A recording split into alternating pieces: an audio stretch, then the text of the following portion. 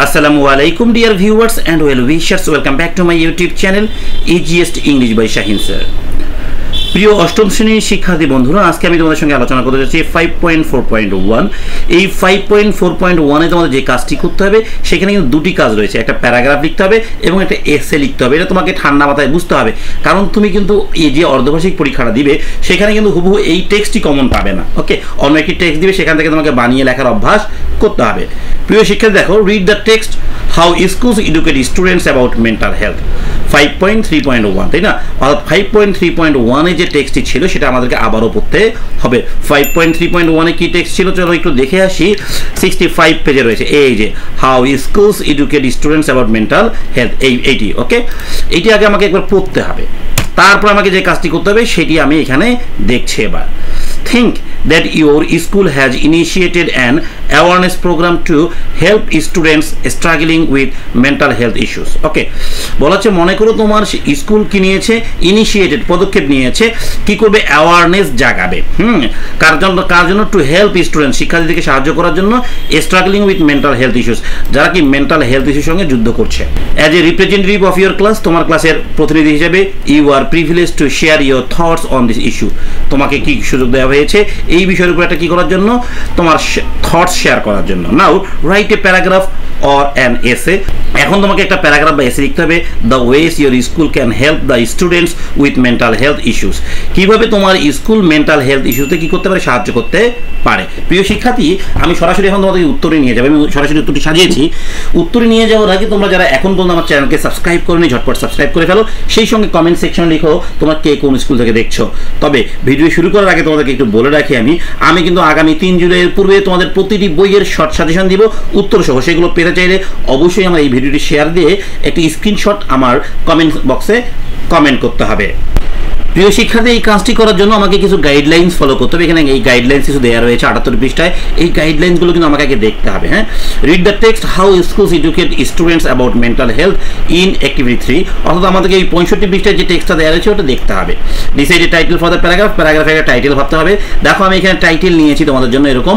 The ways our school can help students with mental health issues আমি title দিয়েছি এরকম, তোমরা চাইলে অন্যরকম টাইটেলও করতে পারবে। রাইট দ্য মেইন আইডিয়া তোমাকে মেইন আইডিয়া লিখতে হবে।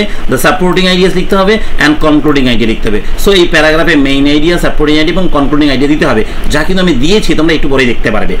Use cohesive devices to connect the ideas হ্যাঁ অর সেন্টেন্সেস ওকে তুমি সেন্টেন্সগুলোকে কানেক্ট করার জন্য বা আইডিয়াসগুলো কানেক্ট করার জন্য কি করতে হবে বলতে কি কোহেসিভ ডিভাইস ইউজ করতে হবে। আমরা কোহেসিভ ডিভাইস কিন্তু তেষট্টি এবং চৌষট্টি বিষয়ে শিখেছিলাম, তাই না?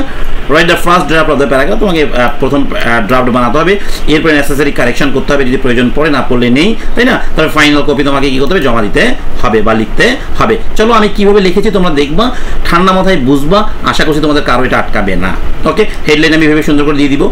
Students mental health issues often arise from relationship problems মানে স্টুডেন্টস মানে শিক্ষার্থীদের মেন্টাল হেলথ মানসিক স্বাস্থ্যের সমস্যাগুলো সবসময় তৈরি হয় বা উঠে আসে অ্যারাইজ সমস্যা থেকে। ফ্যামিলি প্রবলেমস পারিবারিক সমস্যা থেকে অর ফলস অ্যাকিউজিশনস হ্যাঁ মিথ্যা অহংকার থেকে।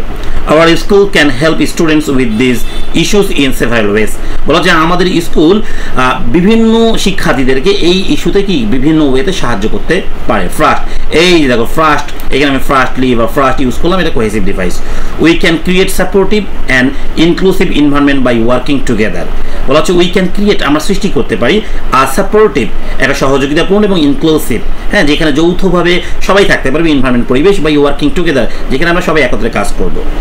Even if we have limited funds and staff যদিও আমাদের কি রয়েছে বলতে কি লিমিটেড ফান্ডস রয়েছে এবং স্টাফ সদস্য রয়েছে। সেকেন্ড বা সেকেন্ডলি তোমরা লিখতে পারবে we can have activities like classroom discussions school events and talk by professionals to openly discuss mental health দেখো, আমরা সেকেন্ডলি কি বলতে পারি? উই ক্যান হ্যাভ অ্যাক্টিভিটিস আমরা কিছু অ্যাক্টিভিটিস নিতে পারি like classroom discussions classroom discussion নিতে পারি স্কুল ইভেন্টস নিতে পারি অ্যান্ড টকস অ্যাবাউট প্রফেশনালস এবং যারা প্রফেশনালস রয়েছে, অর্থাৎ মেন্টাল হেলথের উপর যারা স্কিল স্কিল্ড রয়েছে হ্যাঁ তাদের সঙ্গে আমরা ওপেনলি কথা বলতে পারি। এই বিষয়ে ওকে থার্ড বা থার্ডলি বা থার্ডলি লিখবে হায়ারিং প্রফেশনাল সাইকোলজিস্ট আমরা মাঝে মাঝে স্কুলে কী করতে পারি? প্রফেশনাল সাইকোলজিস্ট হায়ার করতে পারি। Can provide direct support to struggling students তারা কী করবে? সরাসরি সাপোর্ট করবে। কাকে? ওই স্ট্রাগলিং স্টুডেন্টসকে যে মেন্টাল হেলথ প্রবলেমে ভুগছে।